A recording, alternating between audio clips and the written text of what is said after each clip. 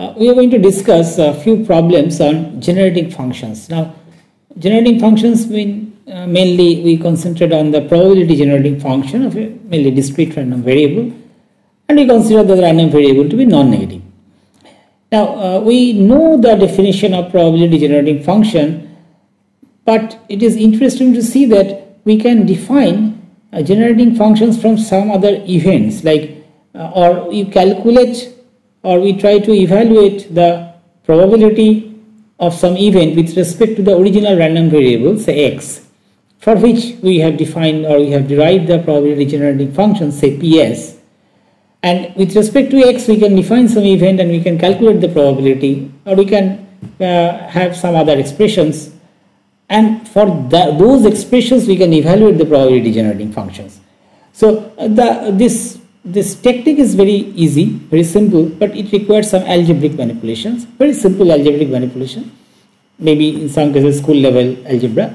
Uh, but it is interesting to see that uh, the generating function uh, can be written in terms of the generating functions of the original random variable. Okay, so we will we'll discuss a few problems, uh, mainly one problem, and after that uh, we will try to exploit the relationship between characteristic function and the distribution function and we discuss few interesting problems. Uh, a few interesting problems in the sense that, as for example, uh, we know that uh, something can, has happened when we are dealing with some normal random variables, but the question is whether the converse is true or not. I am not going to tell you which property I am going to discuss, that will, that will be revealed eventually, but it will be very interesting and all these problems can be dealt with or can be solved using the characteristic functions because we know that there is a one-to-one -one correspondence between characteristic function and the distribution function. Now today we are going to discuss few problems on some generating functions. Uh, the first one is uh, based on probability generating function. Uh, the problem is due to is from the book by A.K. Basu let PS be the probability generating function that is PGF of a non-negative discrete random variable.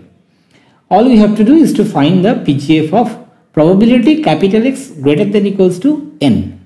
That means this probability must be a function of n and we have to uh, derive the probability generating function of that function. So we start with the uh, we, we, we know that the PGF of x is defined as, let's, let's check the definition of probability generating function of a random variable. Of course, we assume that the random variable is non-negative. So, P of s equals to summation k equals to 0 to infinity pk into s to the power k, which means actually expectation of s to the power k, where pk is nothing but probability capital X equals to k k equals to 0, 1 and so on. So this is the way we define probability generating function of x. Now we have to define or we have to derive the probability generating function of the expression for the probability capital X greater than equals to n. Let's call it Qn because as I mentioned that this must be a function of n. So now how to define the generating function corresponding to Qn First, note what is the meaning of Qn in terms of the simple probabilities based on x. So Qn is probability x greater than or equals to n means probability x equals to n plus probability x equals to n plus 1 plus probability x equals to n plus 2 plus and so on. That means in terms of the notation uh, uh, we, we can write immediately that this is equals to p suffix n plus p n plus 1 plus p n plus 2 and so on which is summation r equals to 0 to infinity p of p suffix n plus r.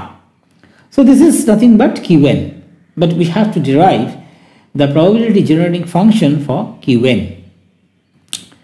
Let qs, capital Qs be the generating function of small qn.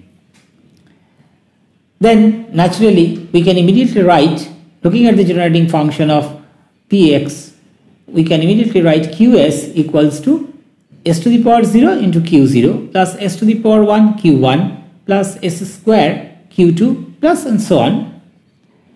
Now remember qn is summation r equals to 0 to infinity p of n plus r. So just replace this quantity in terms of p's. That is, first quantity q0 is nothing but p0 plus. So if we put n equals to 0, this means q0 and summation r equals to 0 to infinity p of 0 plus r. So it becomes p0 plus p1 plus p2 plus p3 and so on plus s into q1 now q1 becomes it starts with it starts from p1 so p1 plus p2 plus p3 and so on plus s square q2 q2 starts uh, q2 the starting first term of q2 is p2 then p2 plus p3 plus p4 and so on similarly s cube into p3 plus p4 and so on now all we have to do so this is nothing but the generating function of qs so basically we are done but all we have to do is to write this entire expression uh, in a relatively more compact form.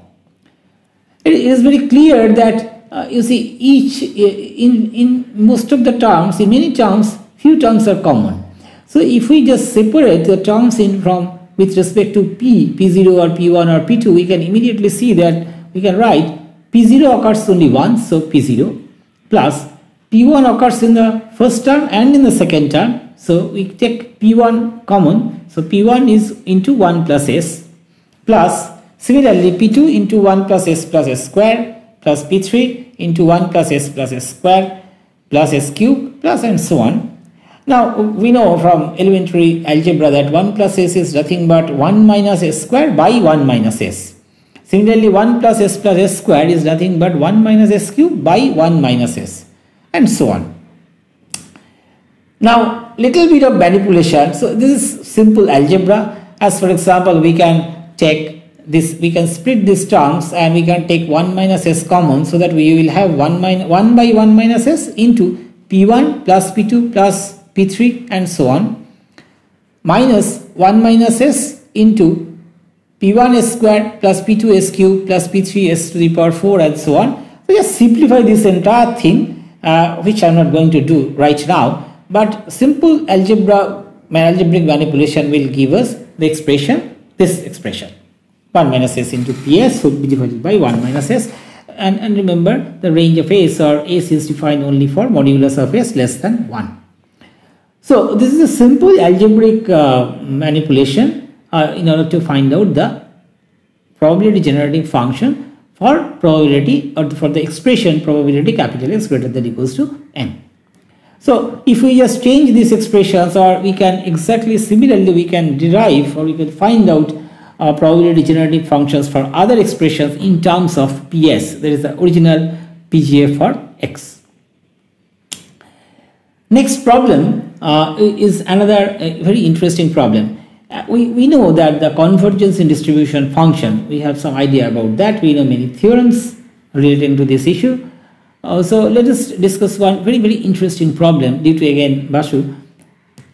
So let fnx that means a sequence of distribution function let us define it as 0 if x less than minus n, n plus x by 2n if n minus n less than equals to x less than n and 1 if x greater than equals to n.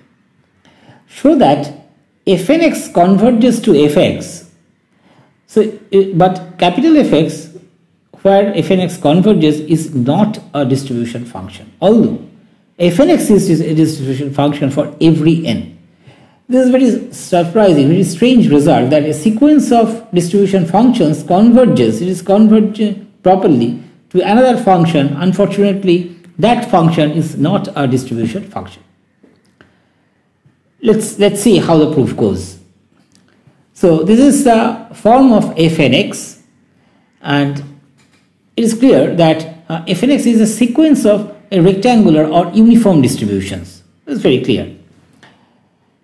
Now, it is clear that fnx goes to half.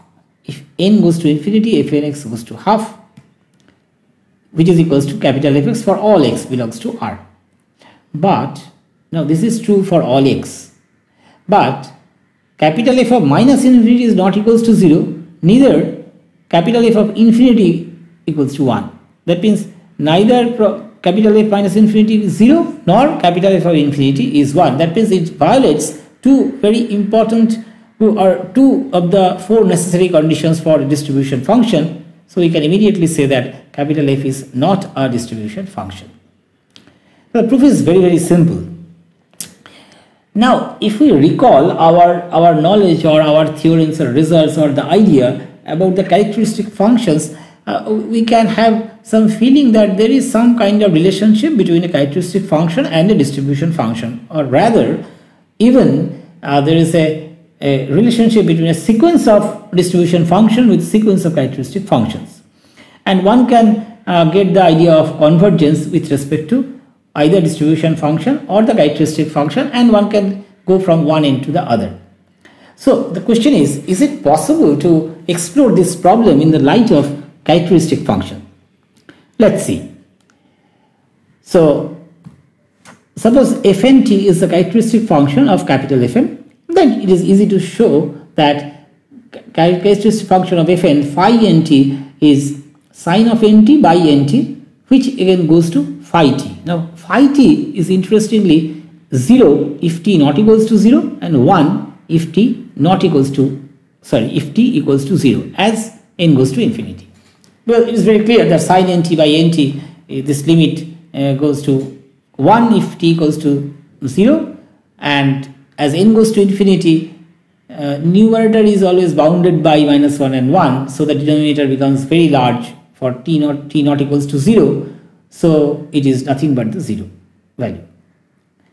It is clear that phi t is not continuous at t equals to 0 so a sequence of characteristic function converges to another function which is unfortunately again is not at all continuous at a particular point. In fact in this case at t equals to 0 and we know that phi t characteristic function is always uniformly continuous at t equals to 0 and so continuous at t equals to 0. So phi t is not a characteristic function.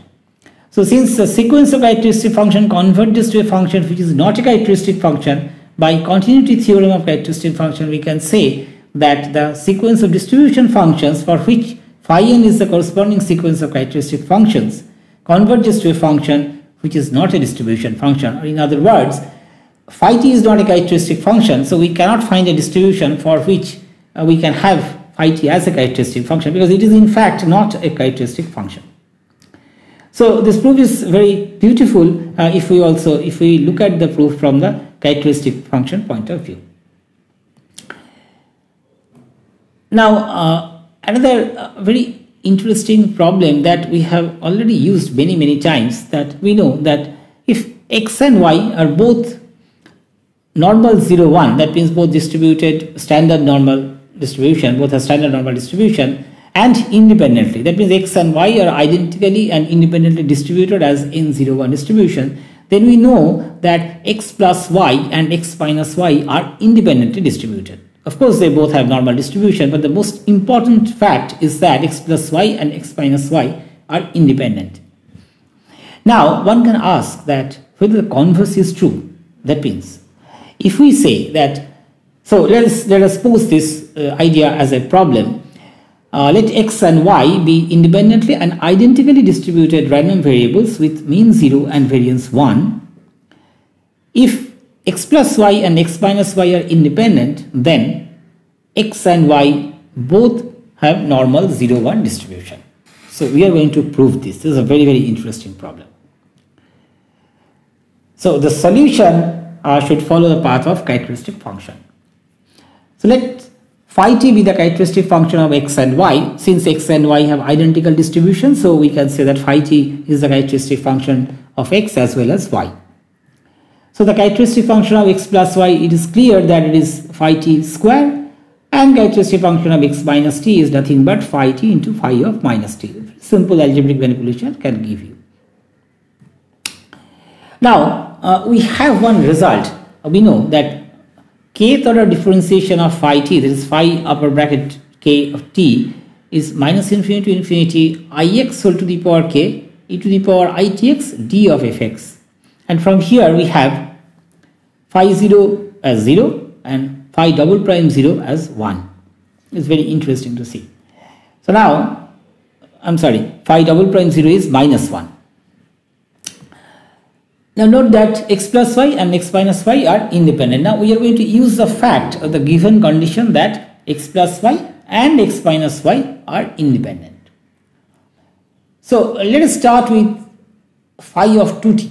Now what is the meaning of phi of 2t? Phi of 2t is expectation of e to the power i 2t x or we can write t into 2x.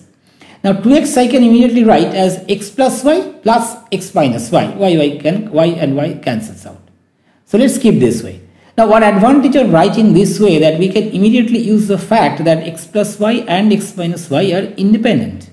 So we can immediately write this quantity as expectation of e to the power it into x plus y into expectation of e to the power it x minus y.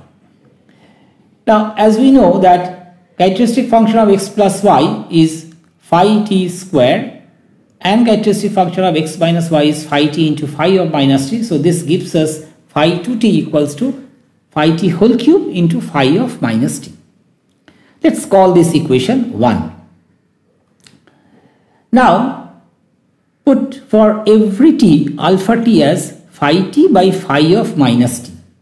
This is a very this is a one small trick that we have to use so this is one particular thing that we have to substitute. Then immediately we can write alpha 2t as phi 2t by phi of minus 2t. Just replace t by minus 2t. Now we know that phi of 2t is phi t whole cube into phi of minus t. Similarly, just replace t by minus t, we can get the denominator as phi of minus t whole cube into phi t. Now, simple cancellation will give us because one phi t phi t cancels out and one phi minus t phi minus t cancels out. So we are left with phi t whole square by phi of minus t whole square which is nothing but phi t by phi of minus t the whole thing square that means alpha t square. So we eventually get alpha 2t equals to alpha t whole square. Let's call this equation 2. So it is interesting to see that in equation 1 we get the expression of phi of 2t in terms of phi t and phi minus t and in equation 2 we can write alpha 2t where alpha t is phi t by phi minus t in terms of alpha t only. Now recall the theorem that if fa a capital F has absolute moment of order k of course k is an integer greater than equals to 1 then in the neighborhood of t equals to 0 phi t can be written as summation j equals to 0 to k i to the power j by j factorial m upper bracket j t to the power j plus some terms which are can be neglected where m upper bracket j is the moment of order j. So now we will use this theorem here. Now if we repeat the previous procedure as in 2 and also in 1 uh, we can get phi of t as phi sorry alpha of t as alpha t by 2 to the power n whole to the power 2n and uh, we can immediately see that if we just expand it we will get it 1 plus small o of t by 2 to the power n whole to the power 2n clearly this goes to 1 as n goes to infinity. Thus alpha t equals to 1 since alpha t equals to 1 that means or rather alpha t is equivalent to 1 that means alpha t actually goes to 1 as n goes to infinity. Uh, so uh, alpha t can be is very close to 1 so we can immediately say that phi t is equivalent to or more or less very close to phi of minus t which immediately implies from 1 alpha of 2t is alpha t whole to the power 4 and now repeating again the same argument and using the using the equation 3 we can write phi t as phi of t by 2 to the power n whole to the power 4n and if we expand this we can get 1 minus half t by 2 to the power n whole square plus some terms which are negligible. Uh, compared to t by 2 to the power n it's function of this quantity whole to the power 4n and this is nothing but if you just take the limit uh, we know that this is nothing but e to the power minus t square by 2 so we have to use some calculus some limits here which is very easy to see. So eventually we get phi t converges to e to the power minus t square by 2 as n goes to infinity. Now e to the power minus t square by 2 is a characteristic function of a standard normal variable. There is normal distribution with mean 0 and variance 1. So, uh, so the proof is complete. Now remember what is phi t? Phi t is the characteristic function of x as well as y. So we can immediately conclude that the distribution of x as well as y is nothing but standard normal 0 1. One, I will, I will conclude this session only by uh, mentioning one small problem that is say let x and y be independent random variables having standard Cauchy density. We, we would like to find out the density of x plus y and x plus y by 2 now, if we can find out the distribution of x plus y by 2, is it possible to find out the probability density of x1 plus x2 plus xn by n if each xi follows IID Cauchy? Let's see. So let's start with the characteristic function. Note that the density of the standard Cauchy distribution is small fx, fx equals to 1 by pi into 1 by 1 plus x square, where x lies between minus infinity and infinity.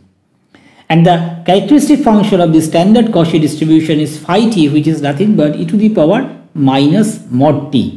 Uh, as you recall that this characteristic function is nothing but the density of the double exponential Laplace distribution except the normalizing factor and the the characteristic function of Laplace distribution is nothing but 1 by 1 plus t square that is exact has the exact form of density of Cauchy distribution without the normalizing factor.